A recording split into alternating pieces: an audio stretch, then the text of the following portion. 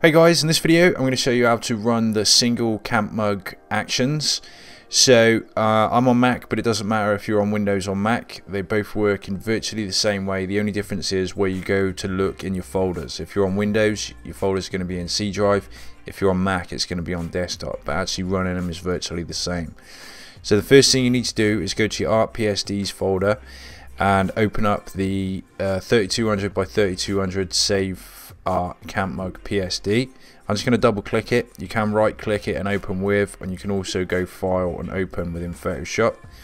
You need to make sure you see your layers over here you can do that by going to window unchecking anything from 3D to version history and just make sure you got your layers checked just so you can switch off that your design here so you've got a nice clean uh, template now I made this one square 3200 by 3200 uh, and the reason being is some of your designs uh, are going to be tall because if you're using um, like say t-shirt designs and stuff they're usually tall which means they would be uh, like that shape there. In fact I did that a little quick. I'm just going to actually delete that.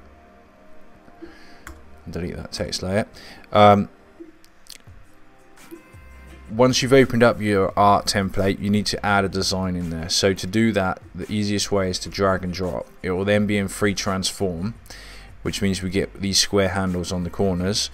And depending on the design uh, the reason I made this square is so you get this little bit of extra width here and it looks much better on the camp mugs so um, you may have lots of old designs you want to put on uh, and they might be t-shirt designs which may be tall as well. So if you've got any room or any leverage we can grab these uh, handles here and we can make it as wide as possible and just drag it down a little bit like that and it's going to look way better on the camp mug.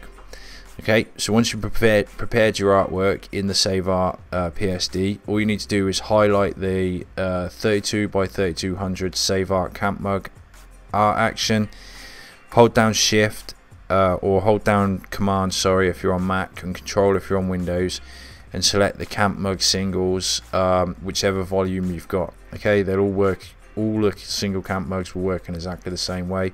You may have a different volume but um, highlight the one you want to use or multiple volumes click play and then if we just go and have a look in our published folder or published mockups folder here can see it's almost done them already so it's adding those designs on.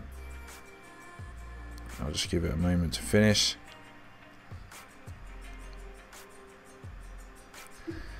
Okay you see it's done those. Okay it's done those. Now it may be that you've got multiple actions installed and if you have um, let's just see here you would you would highlight the save art uh, save art camp mug and then look for the volume of camp mugs you want to do which at the moment is this one here and then just hold command on Mac or control on Windows and click that one.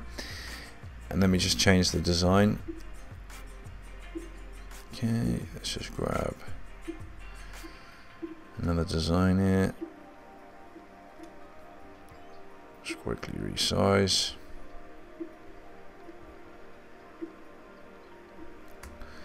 okay and you can just highlight what you want to use if you've got multiple so I've highlighted the save art and I've highlighted the volume I want to use. I'm going to click play.